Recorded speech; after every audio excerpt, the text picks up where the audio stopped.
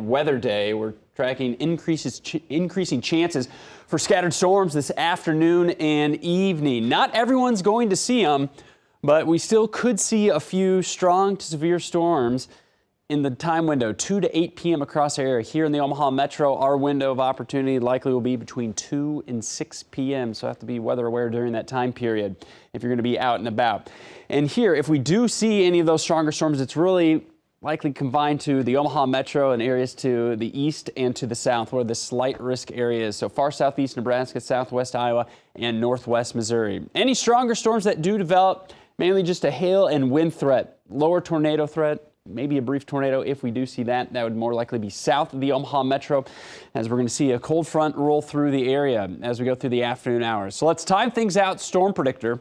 Here this morning, mainly dry in the metro, maybe a few showers. Rumbles thunder out west, closer to Norfolk, Columbus. Here comes that cold front. So out ahead of it, still going to be warm, still going to be muggy most of the day. Now, the biggest question as we go into the afternoon is if we're going to see those storms fire up along that front before the front gets through the Omaha Metro. This model actually brings in a few showers in the early afternoon.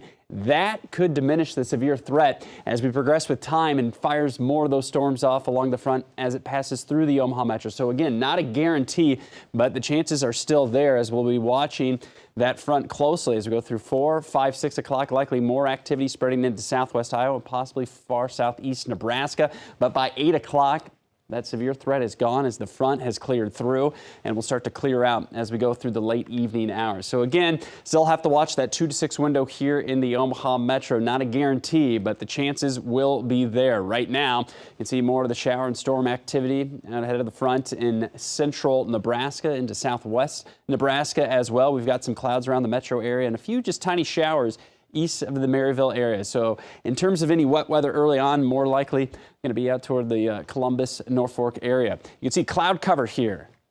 We're going to be treated to likely another beautiful sunrise here before the end of the hour. Looking over downtown Omaha, temperature 69 degrees, warm start, and again, dew points in the 60s at the moment. So still warm, muggy start, mid to upper 60s for almost everybody. 68 in Lincoln, 66 Fremont, Tekamah, 66 Denison, So likely dry. We're going to see those temperatures go up, likely topping out in the mid 80s, probably around 2 o'clock. The more sunshine we see and the less little showers we see uh, before the front arrives, that could increase the uh, chances for some of those stronger storms. But again, more cloud cover showers could diminish that. But we're watching that window 2 to 6 p.m., the best opportunity for storm chances here in the metro area. And then after this front moves through, look at the stretch weather we have the rest of the week. Sunshine, mid 80s tomorrow, low 80s Thursday, Friday.